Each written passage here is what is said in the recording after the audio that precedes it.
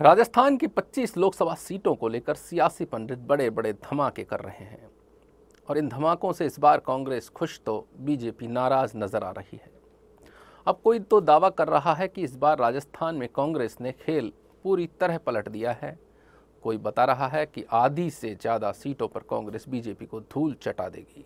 उधर फलौदी सट्टा बाज़ार ने भरी गर्मी में और सियासी उफान ला कर रख दिया है। सट्टा बाज़ार कांग्रेस को 10 सीटें दिला रहा है। हालाँकि यह आकलन भर है, लेकिन सियासत में दिलचस्पी रखने वालों का चार जून तक तो फुल मनोरंजन हो रहा है।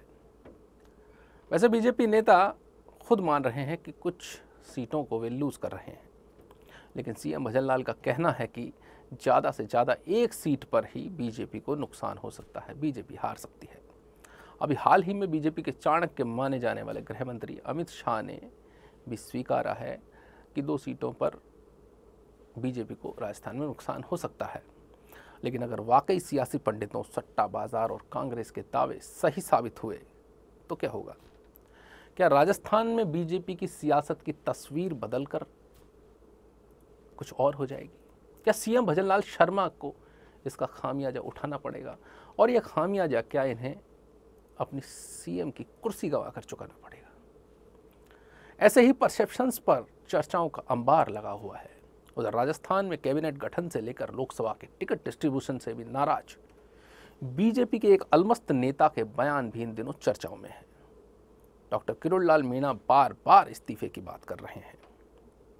और हवाला दे रहे हैं कि लोकसभा चुनाव में उनका परफॉर्मेंस ठीक नहीं रहा तो वे मंत्री पद से इस्तीफा दे देंगे। वे कह रहे हैं कि पीएम मोदी ने उन्हें सात सीटों की ज़िम्मेदारी सौंपी है और अगर एक पर भी हारे तो मंत्री पद छोड़ देंगे। डॉक्टर किरोड़ी की सबसे ज़्यादा प्रतिष्ठा दौसा लोकसभा सीट पर टिकी है। उसके बाद टोंक सवाई माधोपुर का नंबर आता है। और बाकी बची पाँच सीटों के बारे में वे फ़िलहाल बता नहीं रहे हैं। अब ऐसे में सियासी पंडित उनकी इस बात को सीएम भजन लाल के करियर से जोड़कर देख रहे हैं। कहीं ना कहीं वे आला कमान के सामने खुद को बड़ा जिम्मेदार नेता साबित करने के लिए शायद ऐसा कर रहे हैं। लेकिन अगर ऐसा वे कर रहे हैं तो भजनलाल शर्मा की जवाबदेही भी तो साथ में तय कर रहे हैं। यानी अगर मैं सात सीटों में से एक सीट के नुकसान पर भी इस्तीफा देता हूँ तो सीएम भजनलाल शर्मा क्या करेंगे? क्योंकि वह तो पूरे राजस्थान के सीएम हैं। यहाँ किरोड़ी बड़ा खेल कर रहे हैं। राजस्थान में नई सरकार के गठन के दौरान किरोड़ी की जिस जिस प्रतिष्ठा को ठेस पहुँची थी, शायद वे ऐसा करके इसका बदला लेना चाहते हैं। वे सीएम पद या गृह मंत्री पद से कम कुछ भी नहीं चाह रहे थे।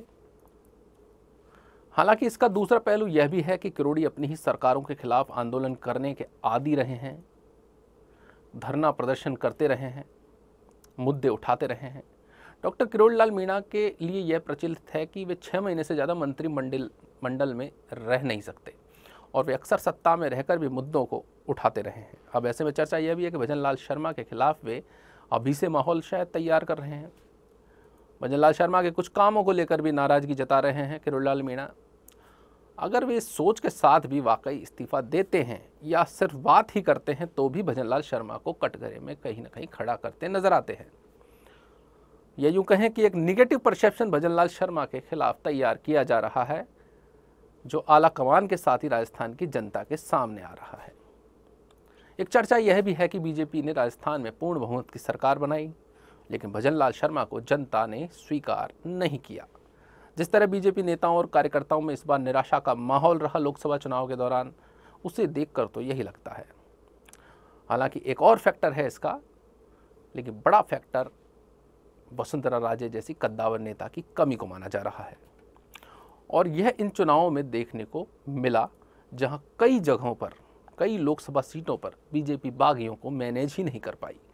लोकसभा चुनाव में जिस तरह चूरू, कोटा, बाड़मेर जैसी सीटों पर बीजेपी के बागी या बीजेपी को समर्थन करने वाले उम्मीदवार निर्दलीय खड़े हुए या कांग्रेस के साथ आ गए। कई जगह चुनावों के बीच पार्टी में अंतर कलह दिखा, कई जगह वितरघात का खतरा नज़र आया। शायद वसुंधरा पिक्चर में होती तो सब कुछ ठीक हो जाता, लेकिन वसुंधरा को तो पिक्चर से पहले ही आउट कर दिया गया था। और यह भारी पड़ गया। अब चर्चा यह भी है कि अगर देश में बीजेपी पूर्ण बहुमत से नहीं आती है तो क्या वसुंधरा फिर से पावर में आ जाएगी? और अगर ऐसा हुआ तो क्या गहलोत वसुंधरा से अपनी दोस्ती का कर्ज चुकाएँगे, जो उनका सियासी संकट के दौरान वसुंधरा ने दिया था? कथित तौर पर।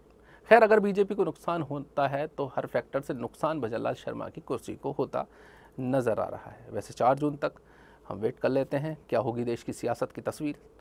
तभी डिसाइड हो पाएगा कि राजस्थान में भजन लाल शर्मा सीएम बने रहेंगे या नहीं। फ़िलहाल मुझे दीजिए इजाज़त जनता दरबार के लिए जयपुर से, विजय वर्मा।